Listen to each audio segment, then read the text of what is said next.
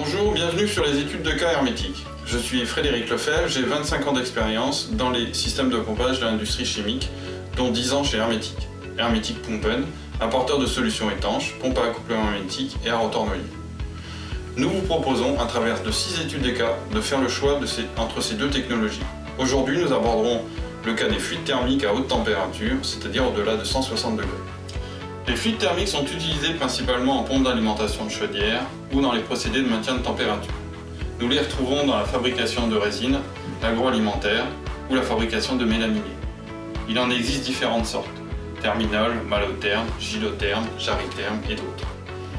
Il était d'usage d'utiliser des pompes à garniture mécanique. Toutefois, la formation de carbone sur les phases de friction des garnitures occasionne des fuites, donc des coûts de maintenance et des risques d'incendie.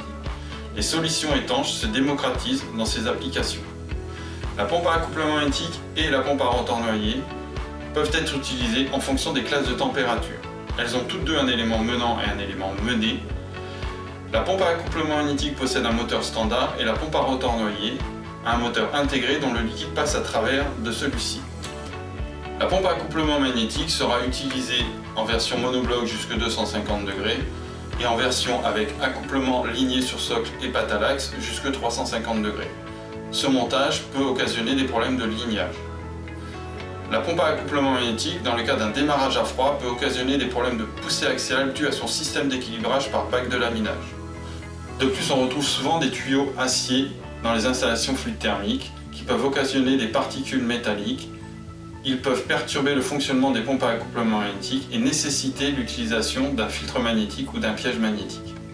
Concernant les pompes à rotor noyé, elles seront utilisées jusqu'aux 400 degrés.